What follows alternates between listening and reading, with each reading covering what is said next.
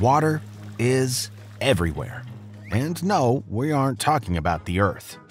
Your lungs, your cheeks, your other cheeks, your blood, even 70% of your brain is all water. But that's no coincidence. Water's involved in pretty much every single thing your body does, and getting enough of it every day is a super easy first step to better metabolic health. To understand how hydration affects our health, we need to first understand hydration. When you sweat, pee, or even just breathe, you lose water. And when your body loses more fluids than it receives, you're dehydrated. Why is that? Because water delivers nutrition and carries toxic waste away from your cells, making it critical to how well your cells, tissues, and ultimately your organs function. Let's dive deeper into some of the important stuff water does at a cellular level. Metabolism occurs inside your cells, and water is the fuel your cells need to create and burn energy. Without it, your cells just can't do their job as well as they should. Changes in cell hydration can affect all sorts of important processes, from the body's response to hormones to how glucose moves in and out of cells, and even the speed of metabolism itself. In fact, one study found that drinking just 500 milliliters of water can quickly induce thermogenesis, the metabolic stage where calories are burnt, and increase energy expenditure by 24% within an hour thanks to increased metabolic rates.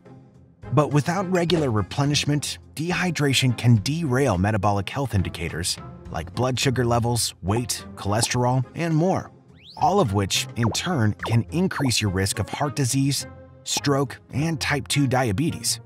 Clearly, water and metabolism are very closely connected.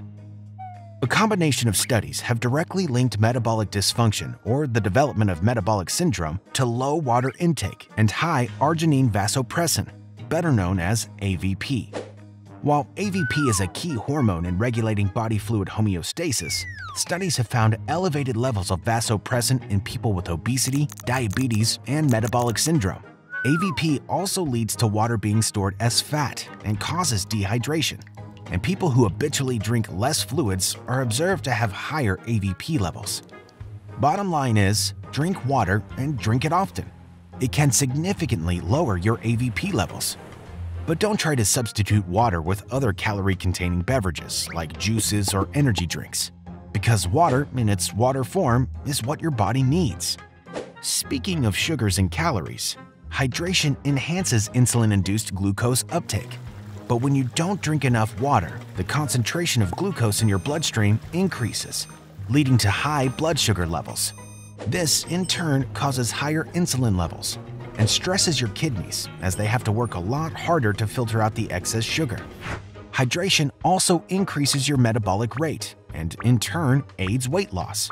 Several studies have linked increased water intake to weight loss via two mechanisms decreased feeding and increased lipolysis, the breakdown of fats and other lipids to generate energy. When your body's low on water, using up fat and glucose as energy sources becomes harder, thereby restricting your body's metabolic flexibility, which means every run, every lift, and every cardio session does less for you than it would if you just drank enough water. Plus, water reduces muscle cramps, helps connective tissues and joints function the way they should, and ensures that your heart, lungs, and other organs perform optimally, even as they ramp up activity during exercises. So, if you're trying to lose weight, make water an active part of your diet. Like a great man once said, stay hydrated, stay healthy.